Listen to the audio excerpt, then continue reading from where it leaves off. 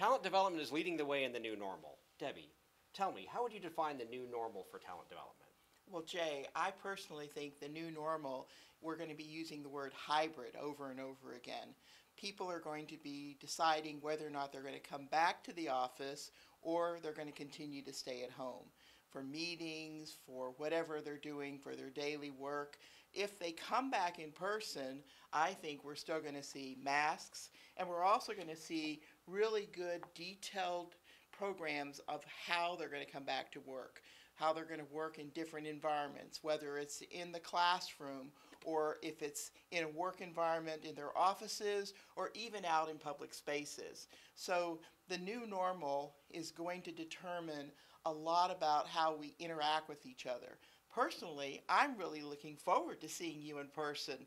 I'm looking forward to seeing all of our ATD Houston members at our next meeting. Great. Thanks, Debbie. Thank you. So we want to hear from you. Post your thoughts in the comments below, and then join us in September as we get together to figure out how talent development can lead the new normal.